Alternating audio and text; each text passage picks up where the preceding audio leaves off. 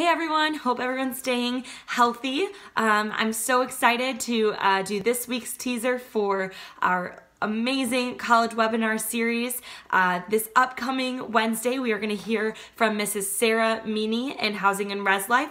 Uh, we are dialing in at 2 p.m. and we're going to hear all about living on campus, uh, what the housing application process looks like.